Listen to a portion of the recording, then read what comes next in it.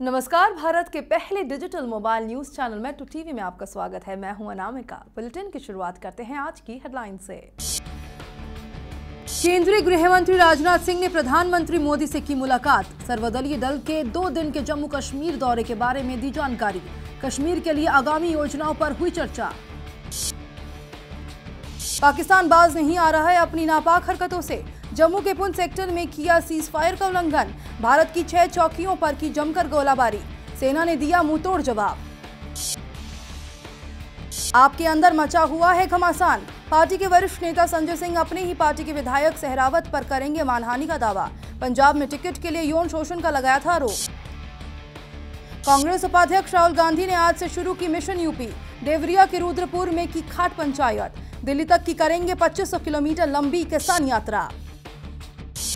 और अफ़गानिस्तान में एक के बाद एक तीन धमाकों से दहला काबुल। 25 से ज़्यादा लोगों की मौत, कई घायल। तालिबान ने ली दो धमाकों की ज़िम्मेदारी। अब फटाफट नज़र डालते हैं कुछ और बड़ी खबरों पर। केंद्रीय गृह मंत्री राजनाथ सिंह सांसदों के सर्वदलीय दल के दो दिन के कश्मीर दौरे के बाद आज प्रधानमंत्री नरेंद्र मोदी को इस बारे में पूरी जानकारी दी। आज सुबह ही राजनाथ सिंह ने प्रधानमंत्री नरेंद्र मोदी से मुलाकात की। 20 पार्टियों के 26 सांसदों के दल के नेतृत्व करने वाले राजनाथ सिंह ने कहा कि ये कहना गलत होगा कि दौरा विफल रहा। आधिकारिक सूत्रों ने बताया कि राजनाथ सिंह राज्य ने जमीनी हालात के सर्वदलीय प्रतिनिधिमंडल के आकलन की जानकारी पीएम मोदी को दी है। प्रधानमंत्री वियतनाम और चीन की यात्रा के बाद सोमवार रात राजधानी लौट आए हैं। सोमवार की शाम गृह मंत्री भी जम्मू कश्मीर के दौरे से वापस लौट आए हैं। सूत्रों ने बताया कि सर्वदलीय प्रतिनिधिमंडल के सदस्य दो दिवसीय यात्रा के निष्कर्षों पर चर्चा के लिए यहाँ बैठक करेंगे और जम्मू कश्मीर के लिए भावी योजना बनाएँगे।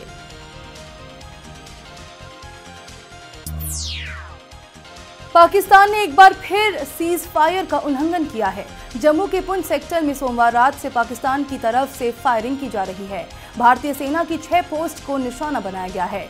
रुक रुक कर मोटर भी दागे जा रहे हैं। रक्षा सूत्रों ने बताया कि भारतीय सेना ने भी इस गोलीबारी का मुँह जवाब दिया है।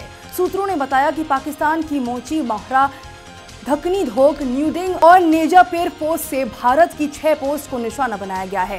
पाकिस्तानी सैनिकों ने बॉर्डर के पास बसे कस्बा गाँव पर भी मोटर दागे हैं। सेना के मुताबिक फायरिंग सुबह तक जारी रही। अभी तक इस गोलीबारी में किसी के घायल होने की खबर नहीं है। यूपी में अपनी पार्टी का 27 साल से चल रहा वनवास खत्म करने की कोशिश में जुटे कांग्रेस उपाध्यक्ष राहुल गांधी आज पूर्वांचल के देवरिया ज़िले से 25 दिनों की किसान यात्रा पर निकले।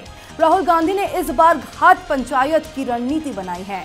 राहुल रुद्रपुर के दूधनाथ बाबा मंदिर मैदान में घाट पंचायत के दौरान जनता से सीधे संवाद किया। राहुल ने कहा है कि देवरिया से दिल्ली तक 2500 किलोमीटर की दूरी तय करने वाली इस यात्रा का लक्ष्य सरकारी संसाधनों में गरीबों, किसानों और मजदूरों के अधिकारों को सुरक्षित करना है। कांग्रेस की तरफ़ से दी गई जानकारी के अनुसार राहुल की किसान यात्रा के दौरान कांग्रेस हर घर तक पहुंचकर किसानों का मांग पत्र इकट्ठे करेगी। यात्रा के दौरान किसानों से सीधा संवाद कायम करने के लिए खाट पंचायत का आयोजन किया जाएगा। दिल्ली हाईकोर्ट ने जेएनयू प्रशासन को अनुशासनहीनता में दोषी करार दिए गए छात्र उमर खालिद और अरिमान भट्टाचार्य पर एक हफ़्ते तक कार्रवाई न करने का निर्देश दिया है। हाईकोर्ट ने एक हफ़्ते के लिए जेएनयू अपीलीय प्राधिकरण के उस आदेश पर रोक लगा दी है, जिसमें दोनों छात्रों को अनुशासनहीनता का दोषी पाया गया है। प्राधिकरण ने इस साल 9 फरवरी को जेएनयू परिसर में हुए विवादित कार्यक्रम के दौरान अनुशासनहीनता के चलते उमर को दिसंबर तक के लिए निष्कासित किया है। वही अनिर्बान को पाँच साल के लिए जेएनयू से बाहर कर दिया गया है। कन्हैया समेत सात छात्रों ने भी मामले में प्राधिकरण के फैसले को हाईकोर्ट में चुनौती दी है। हाईकोर्ट ने सुनवाई के लिए 6 सितंबर यानी मंगलवार की तारीख तय की है।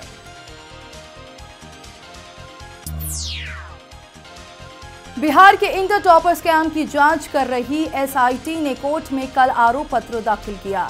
घोटाले को लेकर दर्ज हुए मुकदमे के ठीक 90 दिन पूरे होने पर एसआईटी ने ये चार्जशीट दायर की है।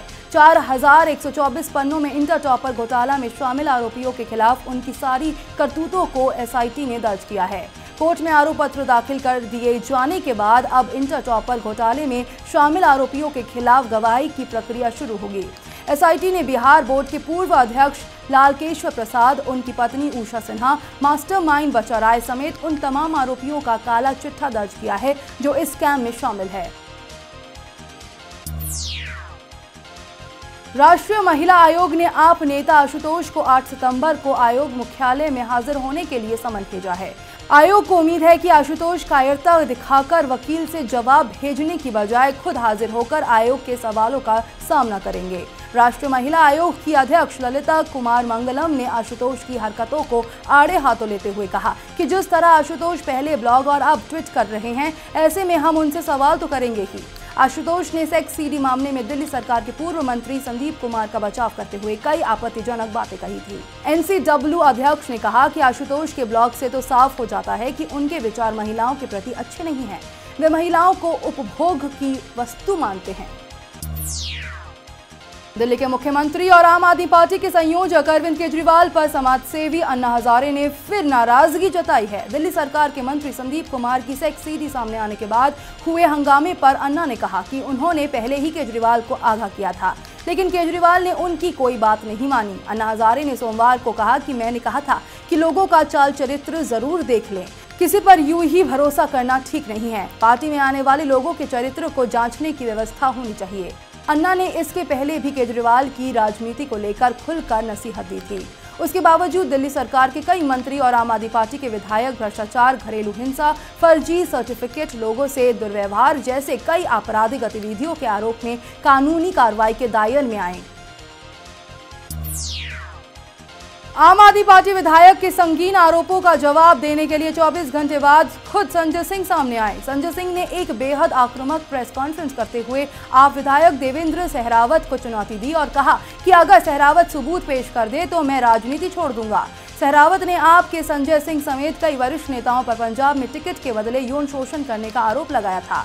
संजय सिंह के मुताबिक दरअसल ये एक षड्यंत्र है, बीजेपी और अकाली दल का, क्योंकि हम पंजाब में सौ से ज़्यादा सीटें जीत रहे हैं। उन्होंने कहा, झूठे और निराधार आरोप लगाने के लिए मैं सहरावत पर मानहानि का मुकदमा करूँगा। और रही बात पार्टी की तो अभी पार्टी के राष्ट्रीय संयोजक अरविंद केजरीवाल बाहर है। इस पर कोई भी फैसला उनके आने के बाद होगा। फिलीपींस के राष्ट्रपति रोड्रिगो डुटर्से ने अमेरिकी राष्ट्रपति बराक ओबामा के लिए अपशब्दों का प्रयोग किया, जिसके बाद ओबामा ने लाओस में उनके साथ होने वाली बैठक रद्द कर दी है। सूत्रों के मुताबिक अब राष्ट्रपति रोड्रिगो डुटर्टे ने बराक ओबामा पर की गई टिप्पणी पर माफ़ी मांगी है। लाओस में होने वाले आसियान शिखर सम्मेलन में ओबामा अब केवल दक्षिण कोरिया की राष्ट्रपति पार्क ग्वेन से मुलाकात करेंगे। आशियान शिखर सम्मेलन में जाने से पूर्व डुटर्टे ने एक सवाल के जवाब में ओबामा की माँ के लिए अपशब्दों का प्रयोग किया। साथ ही कहा कि ओबामा जब लाओस में उनसे मिले तो मानवाधिकार के मुद्दे पर उनको भाषण न दे।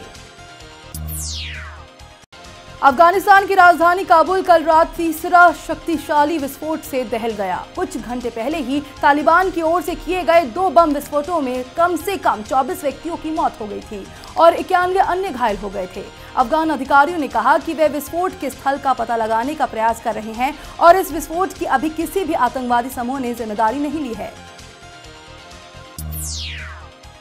पूर्व ऑस्ट्रेलिया क्रिकेट कप्तान रिकी पोंटिंग ने एक समय क्रिकेट के मैदान पर उनके सबसे बड़े दुश्मन रहे भारतीय स्पिनर हरभजन सिंह की जमकर तारीफ़ की है।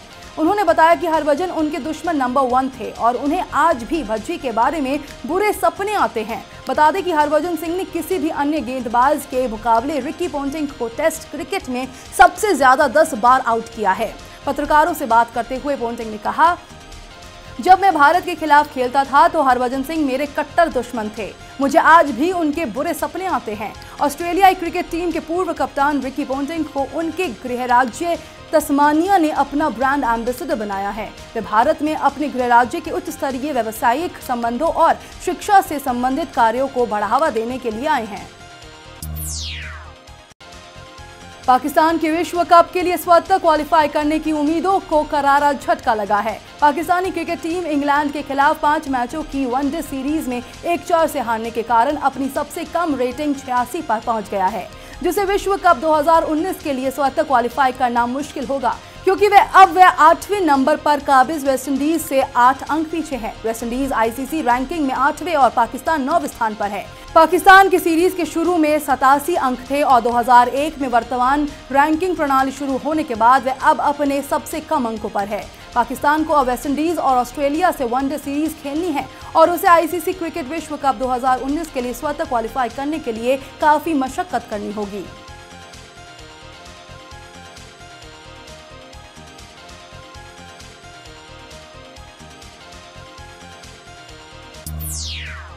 खबरों के सफ़र में फ़िलहाल इतना ही। देश दुनिया की पल पल की खबरें हम आप तक पहुंचाएँगे एक नए अंदाज में आपके मोबाइल फ़ोन के माध्यम से। तो आप जुड़े रहिए मेट्रो टीवी से। तब तक के लिए नमस्कार।